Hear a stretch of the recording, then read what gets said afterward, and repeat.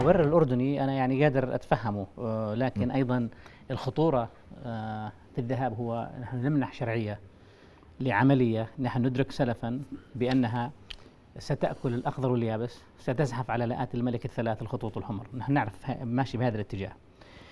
ومقولة الموقف الرسمي وأنا هنا ليس تعليقا على صديقي معالي المهندس لكن الموقف الرسمي الذي سمعته بأننا لا نملك أي خيار آخر لا نستطيع أن نقول لا للولايات المتحدة الأمريكية نتلقى هذا الحجم من المساعدات. هاي هذا المبرر الذي يتم توظيفه على اعتبار أن الأردن يعني وكأنه ما في عنده لا يمكن أن يتكئ على هذا الوضع العربي الهش. هذا كله صحيح بالمناسبة. لكن إذا كنا إحنا لا نستطيع أن نقول لا لورشة بسبب هذه بسبب هذا الوضع. كيف يمكن لنا أن نقول لا إذا جاء الشق السياسي ووضعت المليارات بجهة والمساعدات بجهة وتخلى عنا الإقليم العربي؟ عندها هل نقبل أن نصفي القضية الفلسطينية على حساب الأردن؟ هل نقبل أن نحول الأردن إلى وطن بديل؟ هل نقبل أن العبث بورقة اللاجئين؟ إلى آخره. هذا السؤال. أنا بتقديري أنه آه، آه، اللعبة الإند جيم نهاية اللعبة بالنسبة لي وأرجو أن أكون مخطئا. أرجو أن أكون مخطئا بأنه هي نهاية الدولة الأردنية التي نعرفها. الدولة التي تربينا فيها هاي بآخر آه خلينا نحكي أنا من جيلي يعني وطالع ومعالي المهندس أكبر منا طبعا.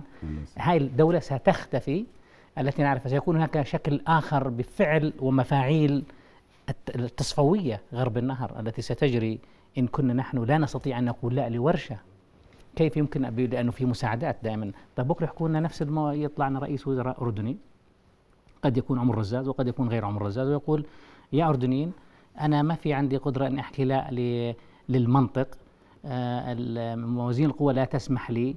أنا عندي مشاكل اقتصادية آه، عندي مشاكل معاشية ومشكلتكم معاشية ومشكلتكم اقتصادية فعلينا أن نقبل بما يقبل به الآخر.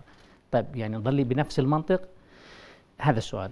طيب والشيء الثاني يعني ماذا نكسب من هذه المشاركة؟ يعني أنا آه، دائما أسأل نفسي سؤال عندما تشارك في أي عملية سياسية ماذا تكسب؟ يعني هل هل هي ضمن آه، آه، استراتيجية الاردن في شراء الوقت لعل ترامب يذهب في مثلا في بعد عام بعد سنة ونصف من الآن وتنتهي هذه العملية يعني لم تقدم بهذه الطريقة.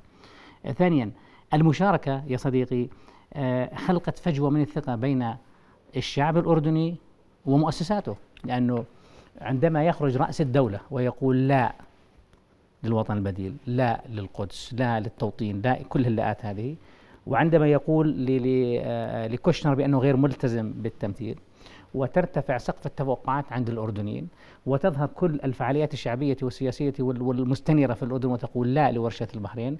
ثم نذهب. يعني هذا السؤال. طيب كيف يمكن للأردنيين مرة ثانية أن يثقوا بأي تعهد على أي مستوى في الأردن؟ يعني هذا السؤال يعني هذه أحد الخسائر في المشاركة بأنه إذا كان هناك فجوة في الثقة بين الناس والحكومة الآن الفجوة تقريبا يعني وصلت إلى أن وصلت إلى إلى إلى حد آه لا يمكن ردمها بهذا النهج وبهذه الطريقة في إدارة ال ال السياسة الخارجية والسياسة الداخلية.